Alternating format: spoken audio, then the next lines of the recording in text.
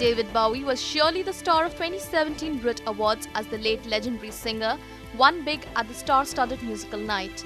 The singer dominated the night by taking away two big awards posthumously. MasterCard British Album of the Year and British Male Solo Artist. He won the honour of British Male Solo Artist for his 25th and final studio album Blackstar.